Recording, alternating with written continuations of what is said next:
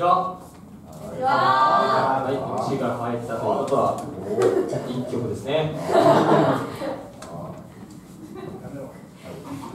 すみませんね、ちょっと、僕は3年生なんですけど、こっち1年生なんですよ。で特に、こっちのまなちゃんは、大学に入ってからベースを触るという。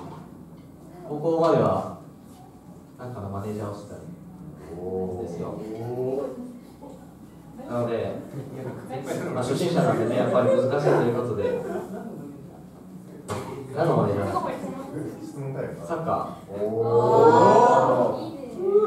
フージャーとか来てた人ですよ。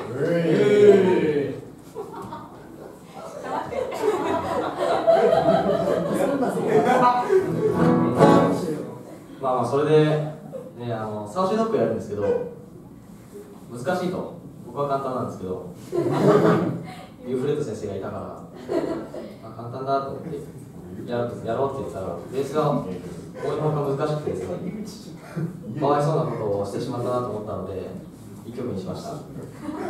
で決めたんですけど曲を。決めたら決めたで僕が歌が歌えないっていう高すぎて。なのでみんなきつかったね。っていう感じですよ。なので聞いてください。